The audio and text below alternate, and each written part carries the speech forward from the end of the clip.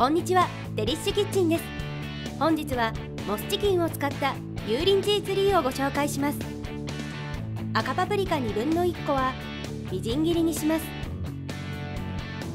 黄色パプリカ1分の1個もみじん切りにしましょう。じゃがいも2個は一口大に切り水にさらして水気を切ります。ブロッコリー1株は小房に分け耐熱容器に入れ分量外の水を加えふんわりとラップをし600ワットのレンジで2分加熱します。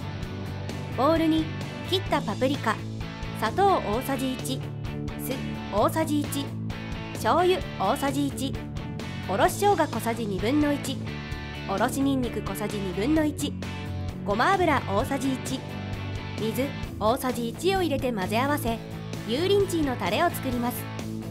お鍋にじゃがいもを入れじゃがいもが浸かるくらいの水を注ぎ火にかけます。竹串がスッと通るまで茹でたら湯を切りボウルに入れ熱いうちに潰しましょう。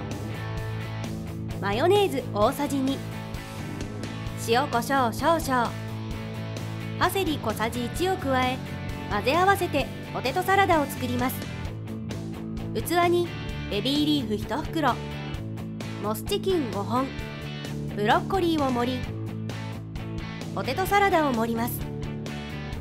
星型のパプリカを飾って油淋鶏のタレをかけたら完成です。